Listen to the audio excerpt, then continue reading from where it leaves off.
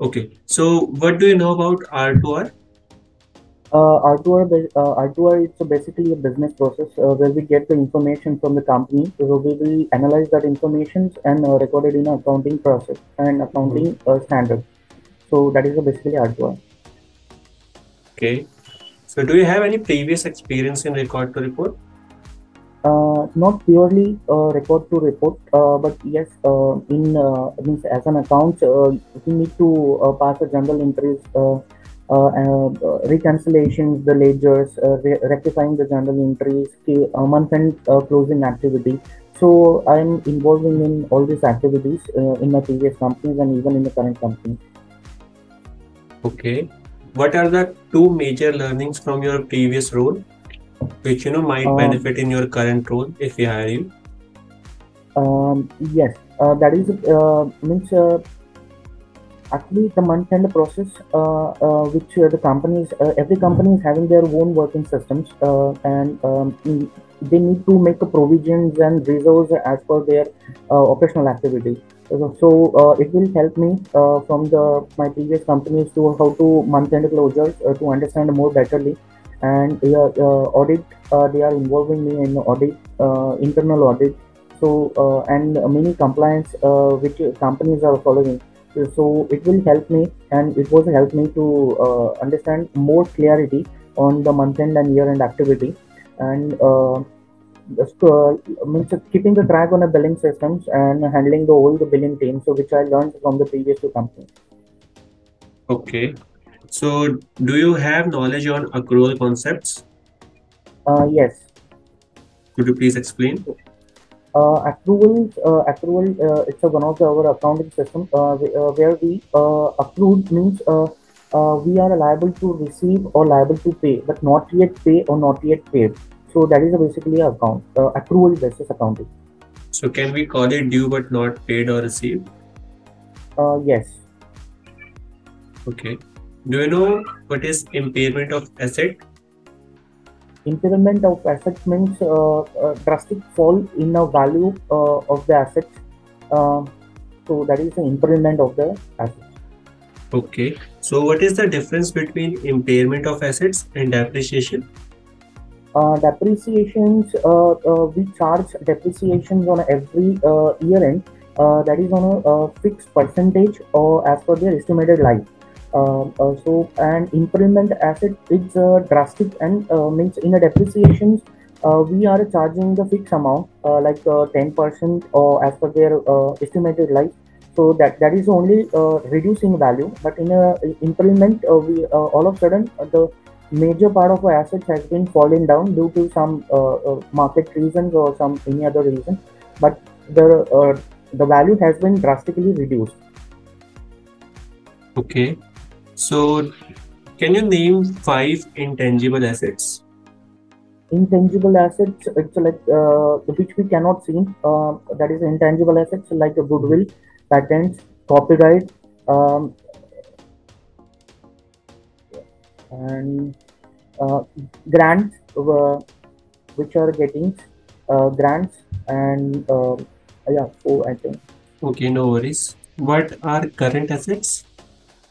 Uh, the current assets uh, it's basically uh, we that is uh, purely for the one financial year uh, we are considering as an asset uh, like the debtors bills receivables and these are the current assets Do you know what are reclass entries? reclass Yes. uh, no sorry but uh, i think a reclassification means uh, uh, changing the ledgers uh, Yes, yes, you are answering correctly. Go on.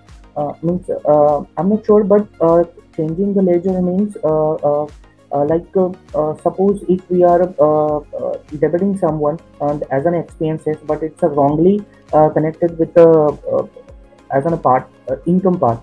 So we need to reclassify that entry into the expenses, consider as an expenses. So we need to pass a journal entry without disturbing the previous entry and transfer to the expenses. I think that is on a reclassifying entry. Okay. So do you know what are ad hoc entries?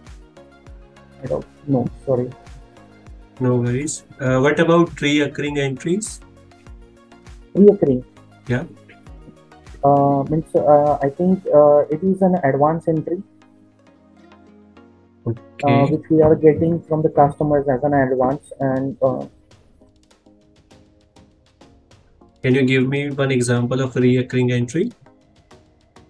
reoccurring uh, means uh, suppose if you are charging the customer so for the three months um, like the first quarter uh, that is a three month and uh, we are uh, raise the invoice uh, for, for the jan, jan uh, feb and uh, march but we are not giving the services for the feb and march so the feb and march it's a advance which we receive uh, but not uh, earn not earn a revenue What are your biggest weaknesses? Can you name two? Uh, I don't think so. I, I have any weaknesses, uh, but uh, I will always uh, try to uh, being a team member and uh, adjust myself with the team as per the uh, team's requirement. Uh, every time I will try to uh, give my best uh, uh, to enhance the team performance. Uh, so I don't think so. I have any weakness. Okay. Can you share two importance of record to report process? Uh, yes, uh, uh, the two important process it's uh, basically when uh, the data which we receive, we need to analyze that data first and uh, uh, uh, highlighted those kind of uh, uh, records or entries which are involves the monetary value. Uh, and uh, while uh, recording that entries uh, via passing the journal entries, uh, the charts of account is one of the uh, I means uh, important uh, key for the record to report. So I think uh, charts of account and uh, our analyzation is uh, one of the best uh, important part. Okay. What is cash flow statement? Uh, the cash flow statement showing us uh, the our in, inflow and outflow of the uh, cash and uh, what will be the exact availability. Have you worked on reconciliations?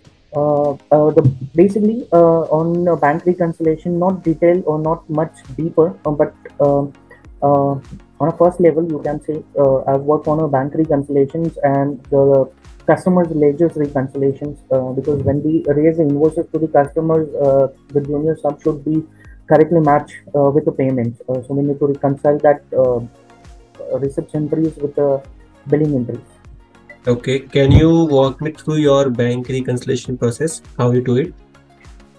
Uh, the bank reconciliation uh, first uh, I mean the bank statement and our cash statements uh, we need to uh, reconcile that uh, both the entries because sometimes we are issued the check and immediately pass immediately pass the journal entries in our cash book or bank book but it will not reflect in the bank statement so we need to reconcile that and we need to deduct uh, that much amount uh, which we raise a check uh, from the bank statement. So we will get the exact uh, out uh, means available uh, balance in the bank. No, that is you are sharing the reason, like differences are arising, trying to identify that. But I'm asking you, what is the process? How you identify that this these are the transaction which are causing the difference between my bank statement and my entries which we have booked.